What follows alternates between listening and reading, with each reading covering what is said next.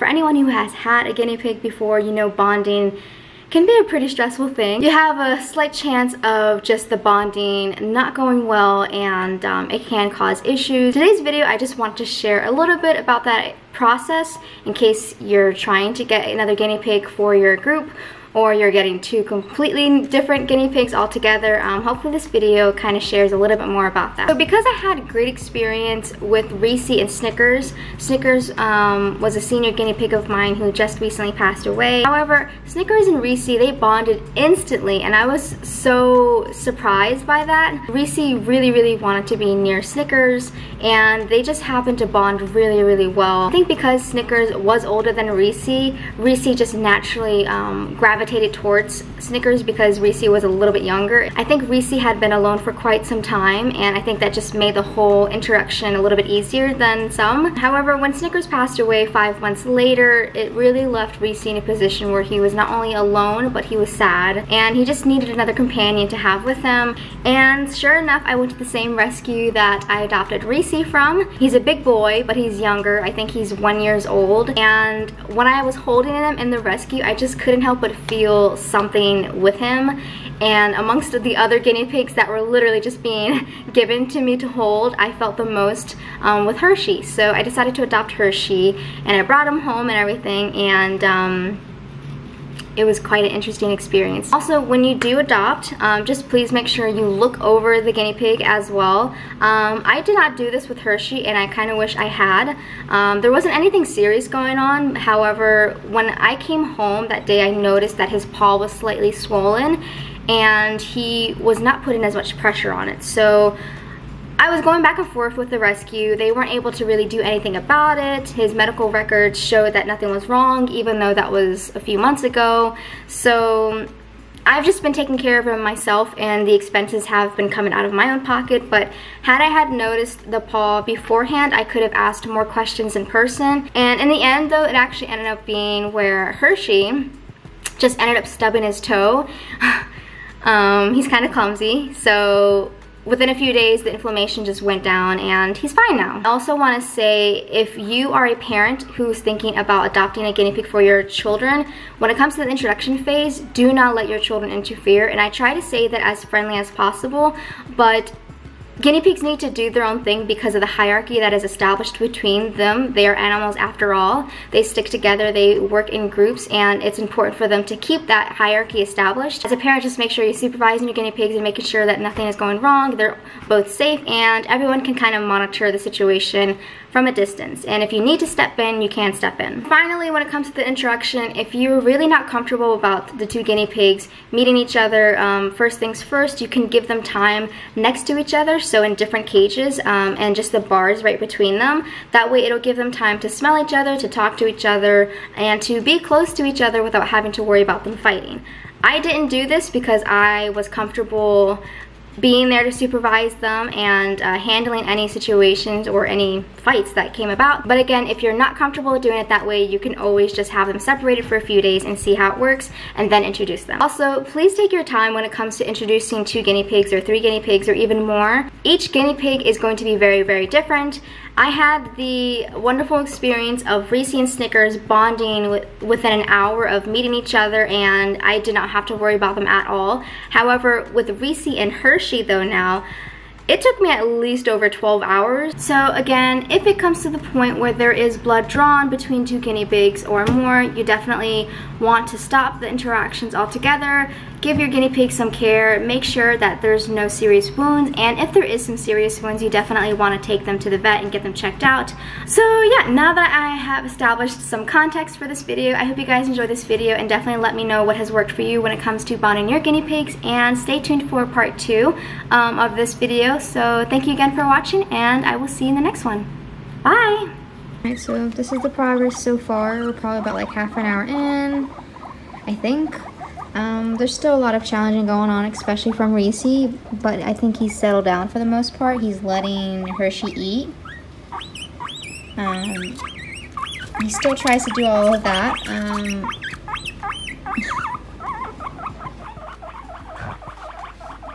They're downloading each other's DNA.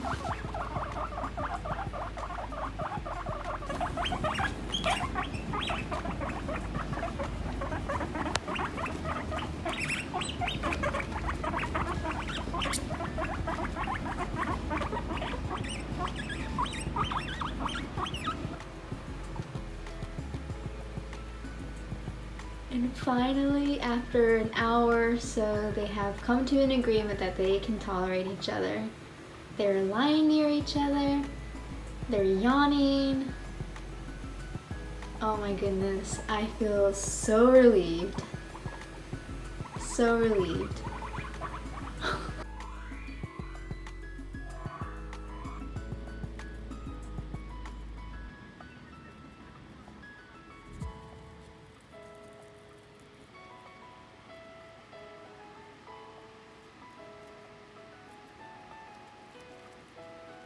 Update, it's the next day. During the nighttime, I did separate the cage in the middle just because I wasn't really confident that they could do well together during the nighttime. I felt like that was the right thing to do, so I just put one of their grids in the middle and I used a bunch of these paper clips to kind of keep it closed together. In the morning, however, uh, Reese um, did manage to break through it and they were going at it, like the whole chattering, humping, and all that good stuff. So um, I did decide to remove this because I wanted them to kind of go back to trying to get acquainted with each other.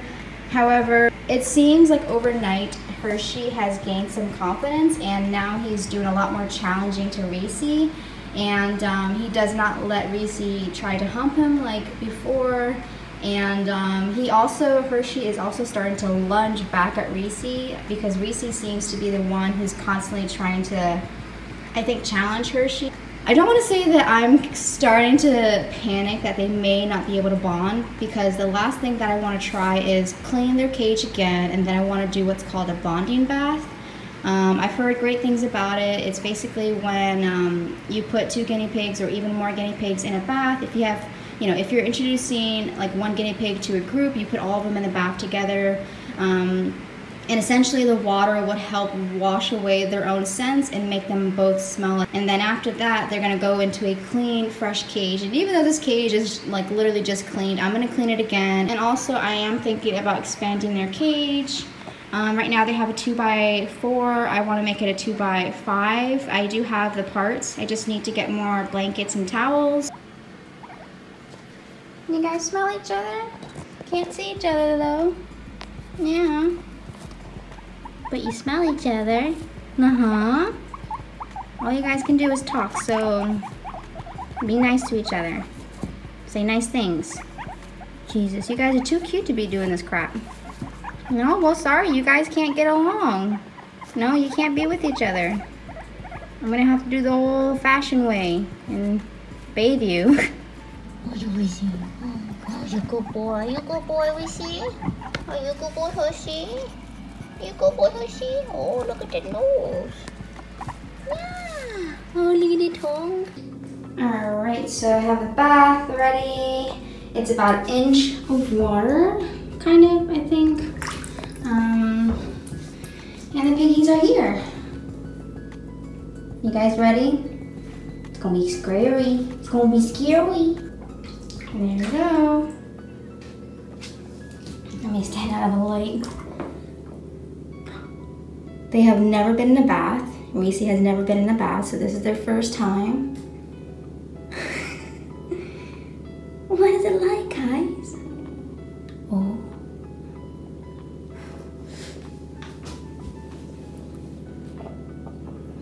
So I'm not really sure how long to leave him in here for, but we'll see how it goes.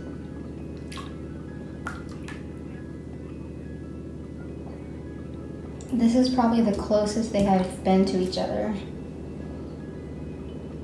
without fighting. And so I actually put them in the bathtub together, like at the same time, and I think that kind of helps. Or not, I don't know. I probably should have just did this at the start. Yeah, hi baby.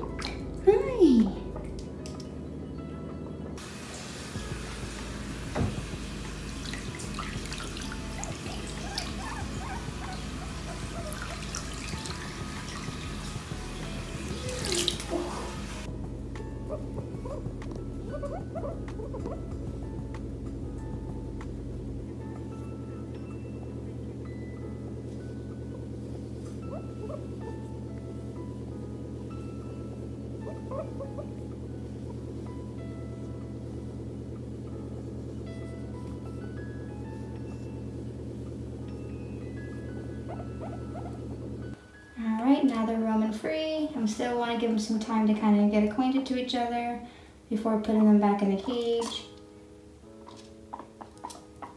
Plus, it's warmer in the bathroom than it is in the office, so. And I'm pretty sure they don't want to have the blow dryer on them.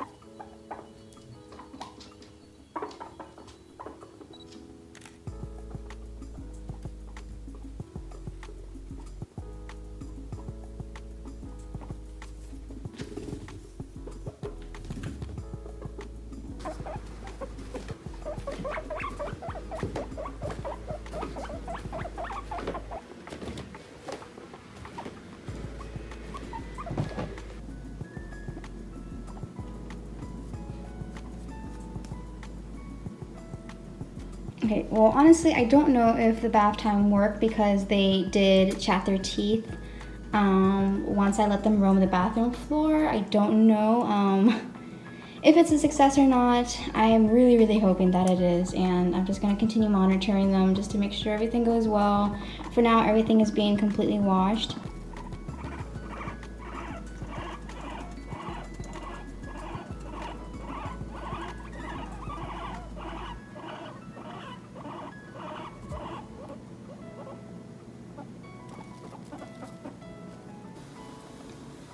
Alright, so, so far, um, they still chat their teeth, but they're able to eat side by side, which they were not able to do before because one or the other would chase the other off. So, I want to say we're making some progress.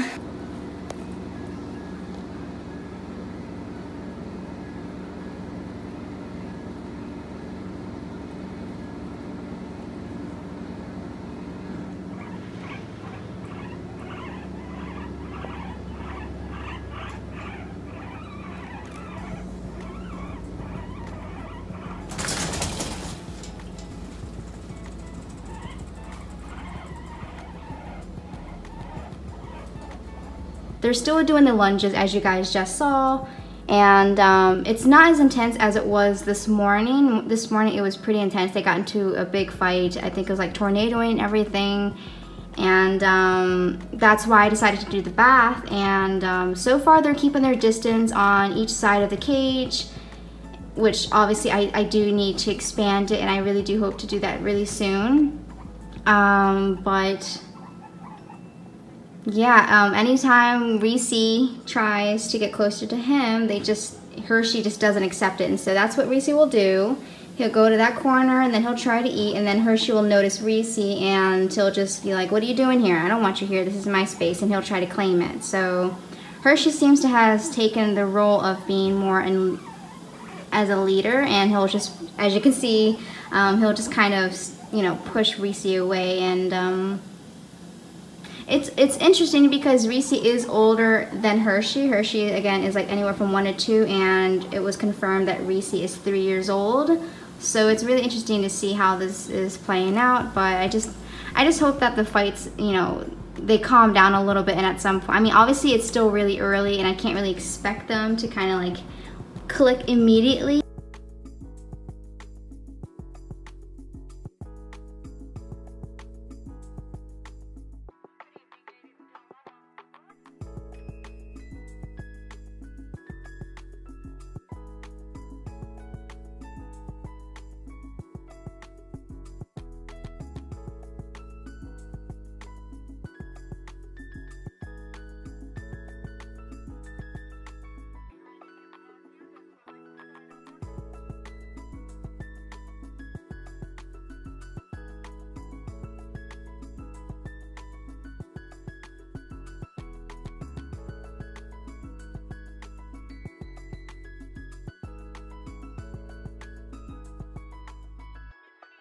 Also, I just saw this. Um, don't know, that probably happened during the lunge, but it's a little piece of hair from Hershey.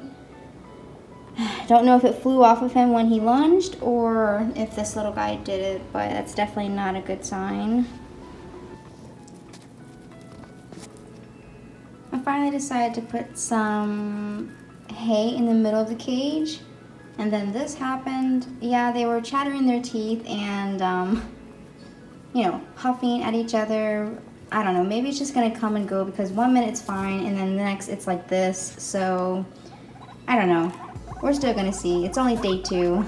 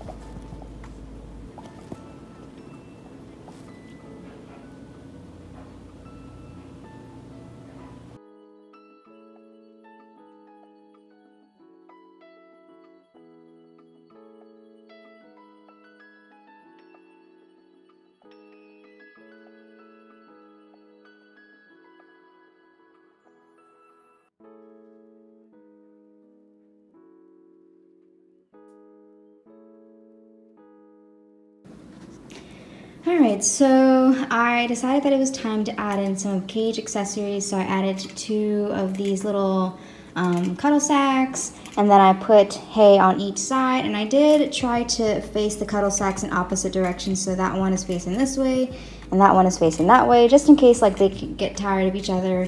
Um, and so I also added the cover there, and I do plan on cutting some cardboard up and putting a cover right over this one, just so that they can feel a little bit more secure and safe. Um, I want to say it's been going really, really well. Um, the lunges have died down and there hasn't been any blood drawn or any kind of nips or, or scratches or cuts on either of them. Fortunately, um, I think this guy, he's doing all the lunges, although I did see him do one, but there, it doesn't seem like they're actually like nipping, nipping or biting to the point where, you know, it breaks the skin they do this a lot. They go up to each other and then um, they shake their butts and then they walk it off and then they sniff each other's butts and everything. But then after a while of doing that, they'll go back to eating hay. And since I've added the cuddle sacks into the cage and all the other new accessories, like the divider there, the uh, fleece divider, um, it has kind of stirred them up into becoming more territorial. Um, but I want to say it seems like the whole episodes of them like sizing each other up seem like they're dying down a lot. Um, this guy is getting a lot more comfortable drinking from the water bottle before Reese, him, was not allowing him to drink from the water bottle or allowing him to eat. Um, so now they're both able to eat um, without getting all stirred up. Definitely making sure that they have two of everything. So like two of these little cardboards filled with hay, um, two little piles of hay on each side, two cuddle sacks, and then I also have two um, big bags of hay and also two water bottles. Um, just to make it, just so that they can feel like they have something of their own that they can, you know, have rather than trying to fight for everything. And it seems like it's really, really helping. The the buddy bath, I have heard mixed reviews on it that you know it's a myth, it doesn't work, and then also it does work. For me, it definitely helped um, die down the tension between them, and it helped um, them overall get over, I think, a barrier that the two of them had between each other. It didn't stop the lunges though, but it did make it a little bit easier for them to come to some kind of agreement after all the lunges and whatnot. I'm thinking about expanding the cage tonight. The thing is I need to either go to Walmart to get some fleece or order it, depending on if they have it in stock, but um, this is going to make the cage 2 by 5 instead of 2 by 4 as it is right now.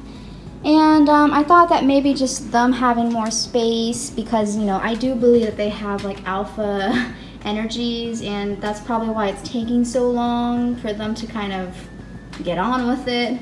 So I was thinking about just expanding the cage and if I did, I would move their cage to where my desk is, which is against um, to my right and um, there's more space there and I feel like they would appreciate just having more space even though their cage already takes up a ton of space um, it is what it is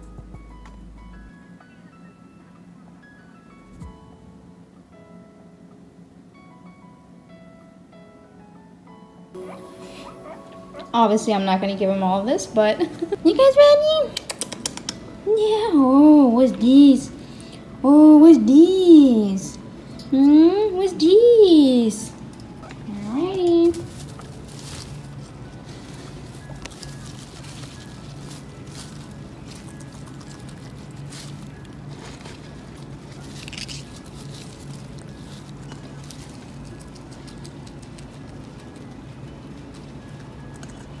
So they are making so much progress. It is almost 8 o'clock.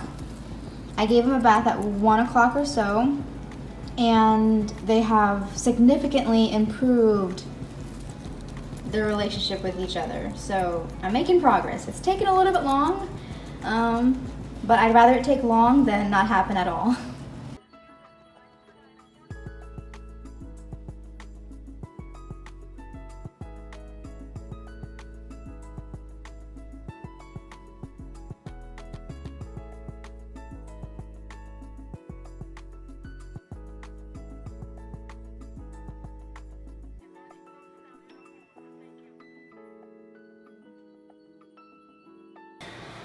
Alright, so I have a lot of updates. As you can see, the cage is different and I spent a good chunk of my morning doing this on my own where I expanded it. Um, I actually messed up cutting on the coroplast, so I had to improvise and I used a bunch of boxes just to kind of stabilize it because for some reason um, it wasn't stable. This whole section right here is new um, and also I added that divider right there to kind of stabilize the, the top part, which I plan on fixing at some point in the future, but so far this is like the concept that I was going for. Now this little cool thing here, I'm not sure if they're going to use it. I put some hay here, but I thought it would be like a little cool area where they could like jump onto it and lie down. Yeah, so far it looks amazing. I've also added back in these like little wooden houses. Um, I made sure there was an entry and an exit um, and I also added a window on the side. And then there's also one under there, which Reese, the little brown guy over there, really, really likes. And um, I also made this. I had tons of cardboard left, so I had some string, and I just kind of added it on top of there, um, just so that they can kind of play around with it. But yeah, so far this is what I have. It's not perfect, but I'm really, really happy about it. I really want to keep playing around with it to see what I like and what the guinea pig's like, and he's already over there. He likes it. Yeah, so if they get tired of each other, they can just run to the other end and just have their space. And so far it has been working. I have not, um, I've only seen this guy lunge once, and it was because Reese just would not leave him alone. Um, so Reese is learning and Hershey is learning. They're both learning each other's quirks and ins and outs. So that really makes me happy because the other day it was really, really tough. Like it took six to seven hours for them to just get over the lunging aspect of it. But I do think now they seem to be okay. They both lie down next to each other, but sometimes they'll, you know, now that the cage is bigger, Reese or Hershey will, you know, lie wherever it is in their cage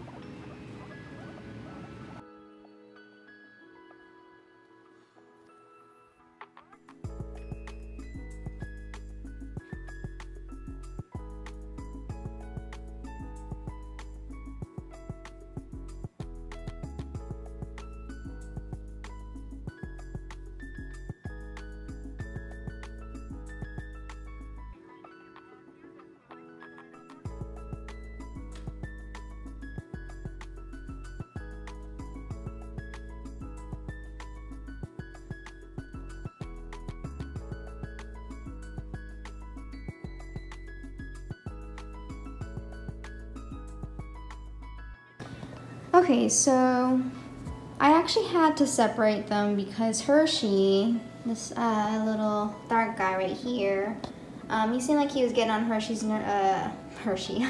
he seemed like he was getting on Reese's nerve and um, wouldn't leave him alone and I was just worried that they were going to start fighting again. Sorry, my AC is on, but essentially I was just worried that Hershey was gonna get another cut on his face. Um, he has like a minor cut on the edge of his lip and then one inside. They're very, very small, but I noticed it when I was examining him. And I just don't want anything like that to happen again. And so I separated them for a little bit, and this is like what happens. They both go up to the uh, divider, and um, they're just trying to figure out, okay, well, what is this thing here? Like, why is this here? I can't get to you, especially Reese. I think Hershey is at the point where he's still going through the I forgot the the name of it, but it's basically like a rush of male hormones. Um, and I just think he's, I feel like he's constantly trying to one up Reese, and um, Reese just kind of puts up with it.